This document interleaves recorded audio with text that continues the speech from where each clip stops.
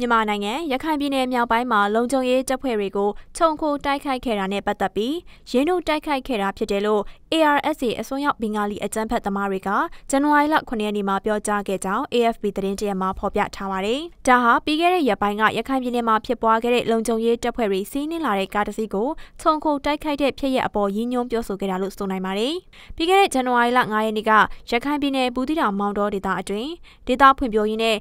နေဆက်ချက်စီယိုစီမံကိန်းဆောင်ရွက်နေတဲ့လုပ်ငန်းမှာဥအောင်ခိုင်ဝင်းမောင်းနှင်လာတဲ့လီဖန်အမျိုးအစားတစ်ပါရင်တစီဟာ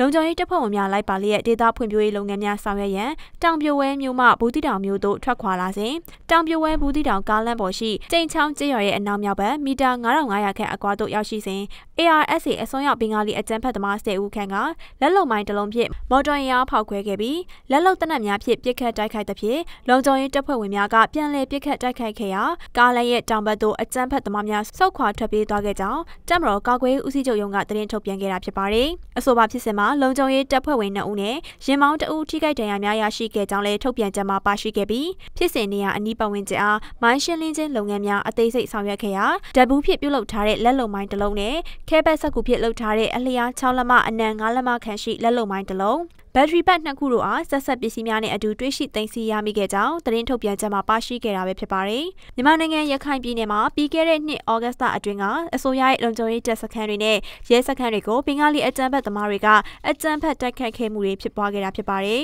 ။အဲ့လိုအကြမ်းဖက်တိုက်ခိုက်တာတွေဖြစ်ပွားခဲ့တာကြောင့်အစိုးရတပ်ဖွဲ့များကအကြမ်းဖက်သမားနှိမ်နင်းမှုတံပြန်စစ်စင်ရေးတွေပြုလုပ်ခဲ့ရမှာဘင်္ဂါလီလူမျိုးအများအပြားဟာအိန္ဒိယဘင်္ဂလားဒေ့ရှ်နိုင်ငံဘက်သို့ထွက်ပြေးတိမ်းရှောင်ခဲ့ရတာဖြစ်ပါတယ်။ လက်ရှိမှာတော့မြန်မာနဲ့ဘင်္ဂလားဒေ့ရှ်နိုင်ငံညှိနှိုင်းကထွက်ပြေးသွားသူတွေမြန်မာနိုင်ငံသို့ပြန်လည်ခေါ်ယူနိုင်ဖို့ဆောင်ရွက်နေရလဲဖြစ်ပါတယ်။